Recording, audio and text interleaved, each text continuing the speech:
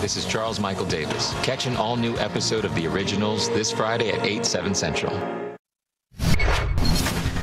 Right now, roof raised, pews pulverized, one local congregation beginning a frantic search for a place to worship after their church is destroyed. We're live as they begin picking up the pieces. Thrill spills and a rush to the rescue. Emergency crews responding to a roller coaster stuck on the tracks. What it took to get two dozen riders to safety.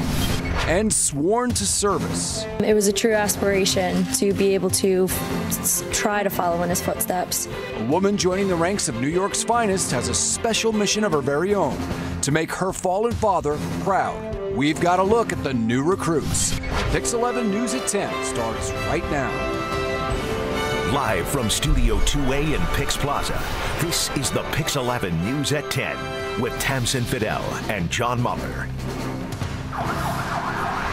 We have breaking news out of New Jersey. A woman hospitalized with burns after a gas explosion shot out the windows and doors of her home. Thanks for being here for the Pix 11 News at 10 o'clock. I'm John Muller. And I'm Tamsen Fadel. It really is a nightmare for any homeowner out there. Well, tonight, emergency crews, they are still on the scene this hour assessing the damage. The explosion happened on Martha Avenue in Elmwood Park. Pix 11's Ayana Harry is there now and joins us live with the very latest tonight. Ayana.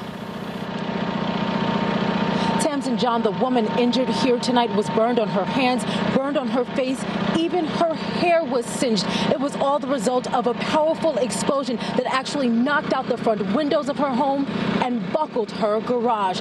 Firefighters were called to the scene here on Martha Avenue around 7:30 this evening.